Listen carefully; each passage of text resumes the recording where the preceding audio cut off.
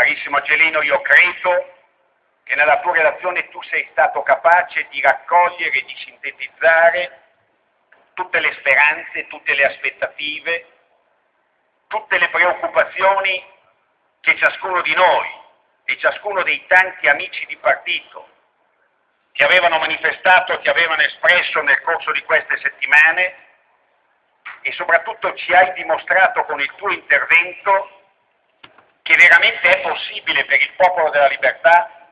costruire uno spazio nuovo di protagonismo in questa Italia. Quello che tu hai detto Angelino dice la direzione nella quale dobbiamo camminare. Quello che Angelino ha detto, amici del Consiglio nazionale, dice la strada nella quale tutti noi dobbiamo lavorare, perché la sfida è pesante e non sarà il solo Angelino Alfano a vincerla, non saranno Berlusconi e Alfano a vincerla se non ci sarà l'impegno, la convinzione, la determinazione, la disponibilità al sacrificio di tutti noi e di ciascuno di noi. Ma Angelino siamo qui per dirti che ci stiamo a questa sfida e che vogliamo portarla avanti con te. È una sfida complicata, perché io credo che quello che è successo nelle elezioni amministrative di metà maggio non possiamo sottovalutarlo o sottostimarlo o dimenticarlo con una data di spade. C'è una parte del nostro elettorato che coscientemente non ha voluto votarci. Ha ragione il segretario a dire che non sono andati dall'altra parte. I moderati italiani non sono andati a sinistra, ma attenzione, ci sono centinaia di migliaia di nostri elettori che questa volta il voto non ce l'hanno dato noi dobbiamo essere capaci di riconquistarlo questo voto. Non è un'impresa facile, non è scontato il risultato di saper riconquistare questo voto.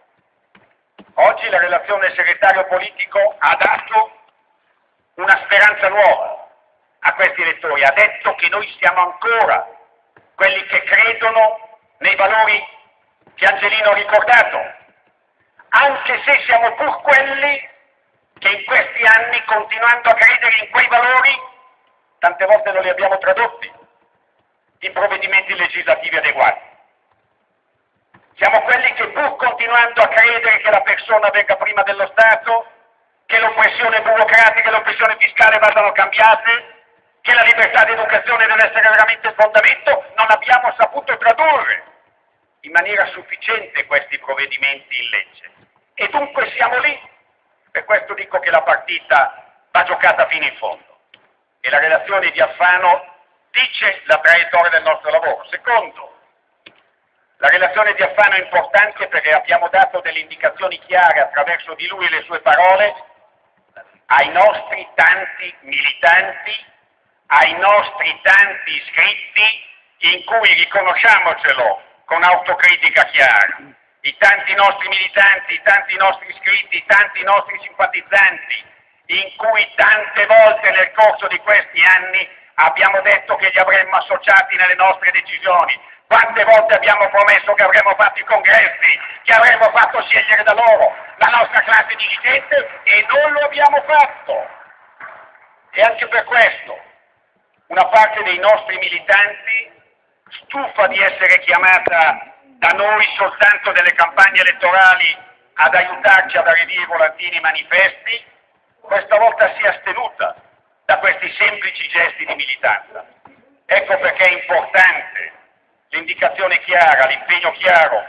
che hanno assunto di andare rapidamente alla elezione dal basso, anche qui la parola importante, del segretario politico cittadino del segretario politico provinciale, del segretario politico regionale. Saranno i nostri eletti, saranno la nostra gente a scegliere come è giusto che sia in un partito democratico che è parte essenziale del, Partito Popolare Europeo, questi nostri dirigenti. Ancora, Angelino Alfano assumendo la carica di segretario politico nazionale del Popolo delle Libertà, assume su di sé, innanzitutto su di sé, ma come espressione di tutti noi, il compito dell'interlocuzione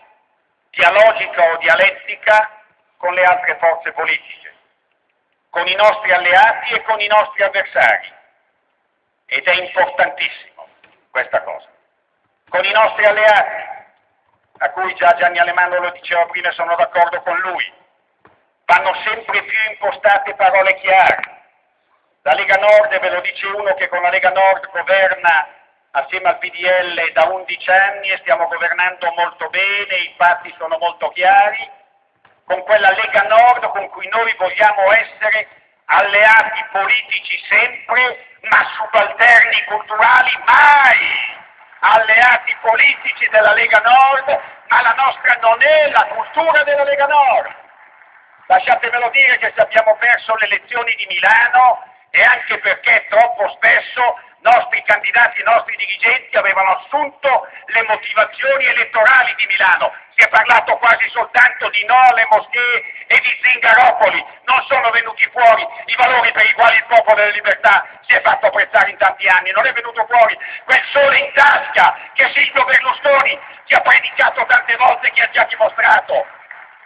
è il motivo per cui i nostri elettori ci possono votare. Noi siamo votati quando suscitiamo una speranza, noi siamo votati quando suscitiamo la prospettiva per i giovani, per gli ultimi, per gli emarginati,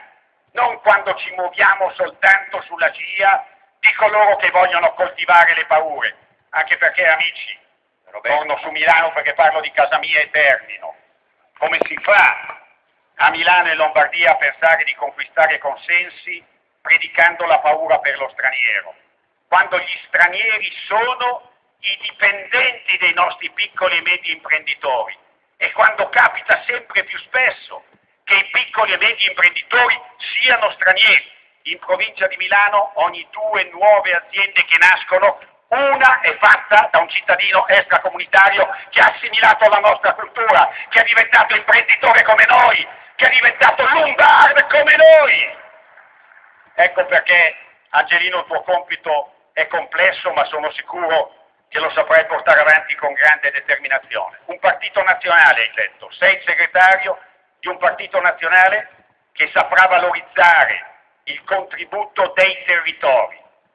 Sei, ed è da uomo del Nord che ti dico che uno dei passaggi più belli che mi è piaciuto del tuo intervento è la rivendicazione orgogliosa e carica di speranza di un sud diverso che il popolo della libertà può rappresentare e può aiutare a far crescere. Grazie anche per questo, lavoreremo a tuo fianco.